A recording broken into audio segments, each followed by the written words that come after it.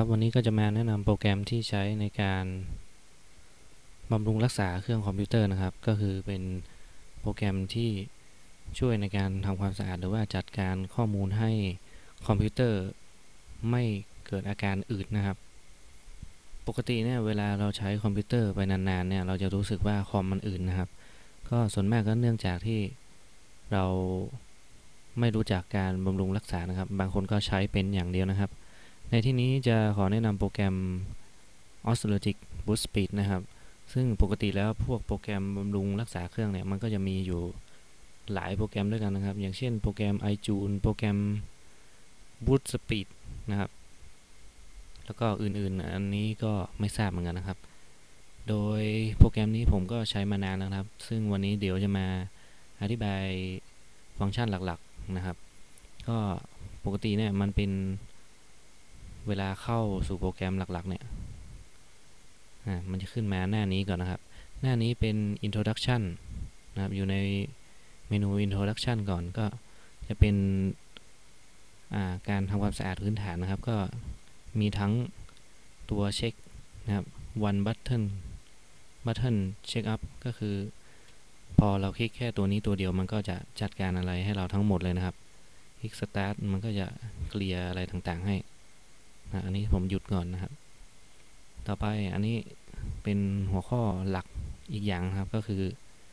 disk cleaner ก็คือทำความสะอาดพวก hard disk นั่นเองนะครับ ก็จะมีทั้งแบบ quick scan หรือว่าถ้าติ๊กออกก็จะสแกนช้าหน่อยนะครับ แต่ก็จะละเอียดกว่านะครับ ต่อไปก็เป็น defrag นะครับ defrag ก็คือมาจาก defragment หรือการจัดเรียงข้อมูลของ hard disk นั่นเองนะครับ ซึ่งหลายคนนะครับไม่ไม่ค่อยทราบนะครับว่าฮาร์ดดิสก์ของเราเวลาใช้ไปนานๆเนี่ย มันจะเกิดปัญหาคือเวลาข้อมูลมันเยอะ แล้วก็ไม่ได้ทำการ defragment เนี่ย มันจะทำให้คอมเราอืดได้นะครับ เพราะว่ามันก็เหมือนกับการวางวางหนังสือในห้องสมุดนั่นเองนะครับ ถ้าวางไม่เป็นที่ไม่เป็นทางเราก็หาข้อมูลได้ยาก เพราะฉะนั้น การ defragment ก็คือเป็นการจัดเรียงข้อมูลให้เป็นระเบียบเรียบร้อยนั่นเองนะครับทำให้ hard disk ได้ทำงานจัดเรียงแล้วก็สามารถใช้งานได้ง่ายแล้วก็เร็วนะครับ ต่อไปมาดูที่คอมพิวเตอร์ clean up นะครับ ก็จะมีเหมือนเดิมก็คือ oscillatic disk cleaner มีการทำความสะอาด registry พวกประวัติอะไรต่างๆนะครับ แล้วก็พวกค้นหาไฟล์ ไฟล์ซ้ำนั่นเองนะครับ ให้เรา search หาในนี้ได้นะครับ ว่ามีไฟล์ไหนซ้ำบ้างแล้วก็มันจะให้เราลบเองนะครับ ต่อไปมาที่ optimize นะครับ optimization ตรงนี้ก็จะเป็น defragment เหมือนเดิมนะครับ ต่อไปก็ defect ก็คือจัดการระบบนั่นเองนะครับ defect จัดเรียงระบบ ต่อไปก็เป็นการเพิ่ม optimize นะครับ optimize ก็คือการเพิ่มประสิทธิภาพนั่นเอง อย่างเช่นตรงนี้ oscillatic internet ก็คือเพิ่มให้อินเทอร์เน็ตมันเร็วขึ้นนะครับ ก็คือเลือกเลือกระบบการติดต่อว่าอตอนนี้เรากำลังใช้อินเทอร์เน็ตระบบใดอยู่นะครับ ก็เลือกให้ถูกกับอินเทอร์เน็ตที่เราใช้นะครับ อันนี้เป็นสายแลนก็เลือกดูนะครับ ผมจะไม่อธิบายอะไรมากนะครับ ก็มารีวิวให้ดูเฉยๆนะครับ ต่อไปก็ เป็นตัวเพิ่มแรมนั่นเองนะครับ เวลาเราคลิกสตาร์ทขึ้นไปเนี่ย มันก็จะทำการเพิ่มแรมให้เราอัตโนมัตินะครับ ก็คือใช้พื้นที่ส่วนหนึ่งของฮาร์ดดิสก์มาช่วยเสริมเป็นแรมนะครับสำหรับคอมพิวเตอร์เครื่องไหนที่แรมต่ำๆนะครับ ต่อไปมาดูที่ privacy and security นะครับ การป้องกันอะไรต่างๆ เริ่มจากอันแรกก็จะเป็น อ่า Logic Track Eraser นะครับ ก็ลักษณะเป็นการลบประวัติต่างๆ โปรแกรมต่างๆนะครับ อย่างหลายคนเนี่ยเวลาเข้าเว็บ เข้าเว็บบ่อยๆนะครับ ก็จะมีประวัติสะสมนะครับ เพราะฉะนั้นตัวนี้ก็สามารถลบประวัติโปรแกรมที่เราใช้งานมาได้นะครับ ตั้งแต่ Internet Explorer Firefox อะไรต่างๆ เว็บเบราว์เซอร์ ไปจนถึงโปรแกรมบางโปรแกรมนะครับ ที่เราได้เปิด แล้วก็มันจะฝังตัวประวัติไว้ทำให้แรมทำงานหนักนะครับทำให้มันอึดนะครับกดฟิก เสร็จแล้วครับ ต่อไป start PC security อันนี้จะเป็นการป้องกันพวกสปายแวร์อะไรต่างๆนะครับ protect PC from จากอินเทอร์เน็ตนะน่าจะเป็นพวกสปายแวร์นะครับ ต่อไป file shred shredder นี่ไม่แน่ใจเหมือนกัน แล้วก็ disk wiper อันนี้ผมก็ไม่ค่อยได้ใช้นะครับ ไม่รู้จะใช้ทำเหี้ยอะไรนะครับ ต่อไป system control นะอันนี้ก็จะเป็นหน้าหลักอีกตัวหนึ่งครับ มีทั้งตัวควบคุมต่างๆ Hologic Tweet Manager อะไรไม่รู้อันนี้ก็ไม่ค่อยได้ใช้นะครับ ส่วนมากก็จะมีหลักๆก็คือพวก run uninstall นะครับ ก็คือมีตัว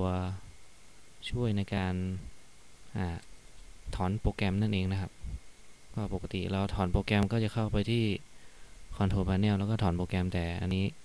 ผมเข้ามาในนี้เลยนะครับ ก็สามารถถอนได้เหมือนกันนะครับ ต่อไปนะครับก็ run start up นะครับ start up ก็ในที่นี้ก็ เป็นตัวให้เราทำการปิดหรือเปิดหรือ delete ตัวที่เป็น start up ตอนเปิดเครื่องขึ้นมานะครับ บางคนเนี่ยอาจจะไม่รู้ว่าคอมพิวเตอร์ตัวเองเนี่ยช้าตั้งแต่เปิดเครื่องนะครับ เพราะฉะนั้นตัวนี้ก็สามารถช่วยท่านได้เยอะมากทีเดียวนะครับ เพราะว่าบางคนนี่ยาวเป็นแลบเลยนะครับ โปรแกรมที่เปิดตอนสตาร์ทเครื่องนะครับ อันนี้ผมก็ลบๆไปเหลือเฉพาะโปรแกรมที่จำเป็นนะครับ ต่อไป System Information อันนี้น่าจะเป็นบอกข้อมูลของคอมพิวเตอร์นะครับ ตามสเปคต่างๆ Device Manager พวก อ่า อะไรนะ พวกไดเวอร์นะครับ ก็บอกสเปคเครื่องอะไรต่างๆ ว่าทำงานเท่าไหร่บ้างยังไงบ้างนะครับ แล้วก็ Task Manager อันนี้ก็เหมือนกันนะครับ ในการสั่ง เปิดปิดโปรแกรมที่กำลังทำงานอยู่ เพราะว่าบางคนคอมค้างนะครับ ก็ไม่รู้จะปิดยังไงนะครับ ค้างบางโปรแกรมนะครับ ก็ลองเข้าในมาปิดในนี้ก็ได้นะครับ แต่ถ้าง่าย ๆก็กด Ctrl Alt แล้วก็ Delete พร้อมกันก็สามารถปิดได้นะครับ แต่อันนี้มันเป็นฟังก์ชันเสริม ไม่ค่อยได้ใช้เท่าไหร่นะครับ ต่อไป Windows Tool อันนี้เครื่องมือของ Windows นะครับ Microsoft DirectX อะไรต่างๆ พวก อ่า performance นะครับ อันนี้เกี่ยวกับการปรับมอนิเตอร์นะครับ อันนี้ก็ไม่ค่อยได้ใช้นะครับ หลักๆกก็จริง ๆ ก็จะได้ใช้ไม่มากก็อย่างเช่น ตัวนี้ครับทำความสะอาด registry ทำความสะอาดฮาร์ดดิสแล้วก็พวกนี้ต่างๆนะครับ ซึ่งโปรแกรมนี้เราสามารถนำมาไว้ที่ Start Menu ได้นะครับ ของผมนี่เอามาไว้ตรงที่บริเวณ Start Menu ก็คือทำชื่อให้มันเป็นภาษาไทยเลยนะครับ โดยการไปที่ All โปรแกรมแล้วก็มาที่โปรแกรมออสโลจิกนะครับ เมนูย่อยก็ยังมีอยู่ที่ Unity นี่นะครับ ผมก็ทำการเปลี่ยนชื่อให้มันเป็นภาษาไทยแล้วก็ทำการ ส่ง pin มาที่อะไรนะ ส่ง pin มาที่ตัว Start Menu นะครับ จนเป็นหน้าตาเป็นแบบนี้นะครับ ก็เวลาใช้ก็สามารถใช้งานง่ายนะครับอย่างเช่นทำความสะอาดฮาร์ดดิสกด เสร็จนะครับ ลบประวัติโปรแกรม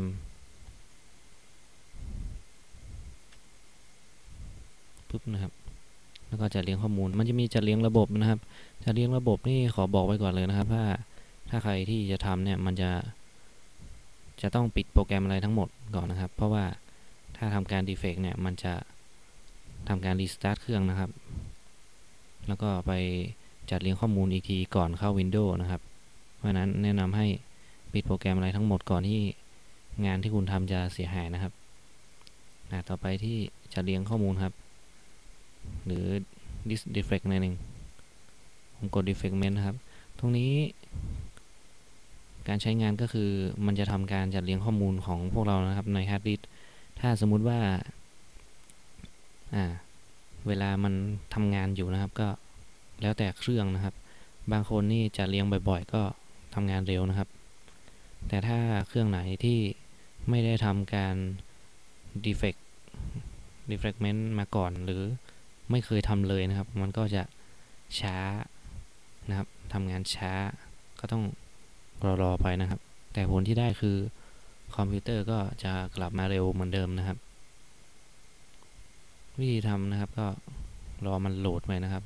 มาจัดการไปทีละฮาร์ดดิสนะครับ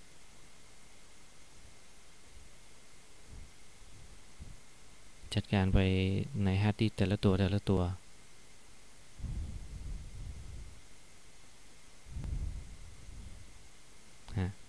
ถ้าถ้าสมมุติว่าได้แล้วนะครับ มันจะขึ้นหน้าต่างนี้ขึ้นมา ให้เราสังเกตดูว่ามันเป็น 0.0%หรือเปล่านะครับ ถ้ายังไม่ใช่ให้เรากด close ออกแล้วก็ทำการจัดเรียงข้อมูลใหม่นะครับ แต่ถ้าสมมุติมันเป็น 0.0 แล้วก็กดปิดปิดไปได้เลยนะครับ มันจัดเรียงเสร็จเรียบร้อยแล้วนะครับ เพราะฉะนั้นก็อยากให้ทุกคนลองไปหาดาวน์โหลดดูนะครับ ก็เป็นวิธีง่าย ๆ ซึ่ง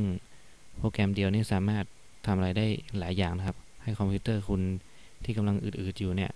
แรงขึ้นมาเร็วขึ้นมาเหมือนปกตินะครับ ไม่จำเป็นที่จะต้องไปลง Windows ใหม่นะครับ เพราะว่าบางคนเข้าใจผิดบอกว่า เอ๊ะคอมพิวเตอร์เพิ่งไปลง Windows ใหม่ทำไมมันช้าจังนะครับ เพราะฉะนั้นกรุณาทำความเข้าใจให้ถูกนะครับ ก็ลองลองไปหาดาวน์โหลดดูนะครับ สวัสดีครับ